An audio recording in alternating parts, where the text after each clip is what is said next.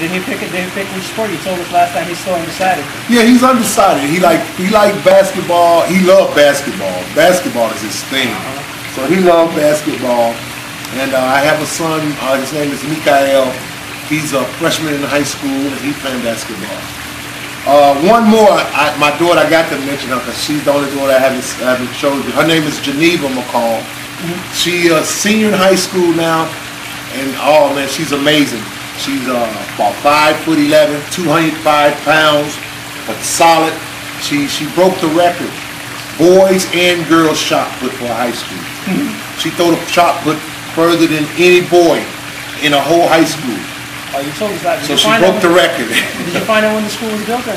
Right, because I was wondering well, how long this school been around? Because you know, usually boys, you know, should be throwing a shot put, you know, further than the Uh-huh. girls. But she broke the record as um, in the shop put for her school, and uh, God's will she'll be getting a scholarship too. She she's uh she liked to write poems, and uh, oh man, she she's my heart too. Uh-huh. She's named after my great grandmother. Is that, is that Frank? This is my brother Frank and my oldest daughter Tawana. Uh, Tawana, she she went to she graduated from college, like I said, uh, for law. She went there for law. Matter of fact, she's thinking about coming down here in Florida and becoming a correctional officer. So some type of uh, she she liked to deal with the law thing, and and that's good. That's good. She said, "Well, Dad, stay out of trouble."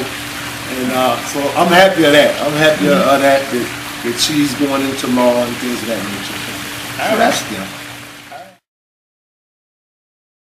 This last one is a very hot topic on Boxing Confidential right now, so I want to ask you this. You know Michael Mark, correct?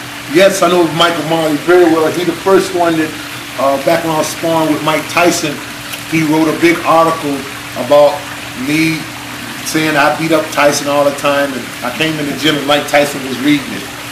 And I looked at Mike Tyson, is we boxing today? And I was surprised, you know, he was reading this big article and Mike Marley had wrote about me beating up Tyson. But Tyson gave me pretty much respect. He respected that. You guys are. Well, the thing, the reason I asked you on Mark, there's a lot of noise being made on Boxing Confidential right now where him and uh, Manny Pacquiao's lawyer are trying to set up some sort of street fight, you know? And they're comparing Marley to a gorilla and Pacquiao's lawyer to a kangaroo, you know? So the question is, as someone who's familiar with Tucson Marley, right, do you think Pacquiao's lawyer stands any sort of chance?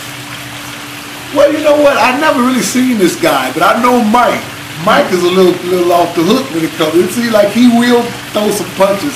So uh, Mike, kind of be easy on this guy, man. You know, Mike is a nice guy, and, and I and I've been knowing Mike for, for many years, and uh, we've traveled together on many occasions, and uh, I have much respect for him.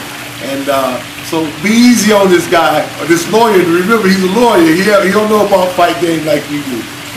Well, the question is, also another question, if you're coaching this guy, what would you tell him against Mike? How would you tell him to fight him? Well, I, I tell him to say his back hurt, like all the other champions that don't want to fight somebody. You know, I do like Vitaly's done uh, Hasim Rahman. My back hurt.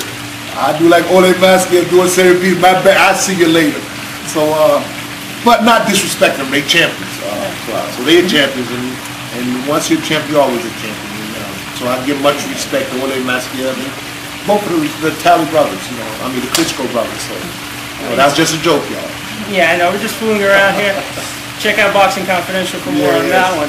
All right, well, Oliver, the last thing we want to ask is, when do you want to say in closing to the fans who see this on our site, on YouTube?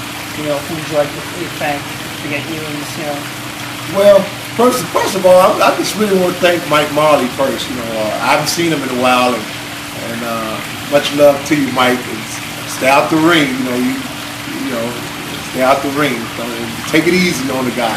And I just want to say hello to all the fans and thank y'all for the support. And uh, you know, I just love boxing. I'm just thankful and grateful that I'm still here and you know able to compete at this level at this age.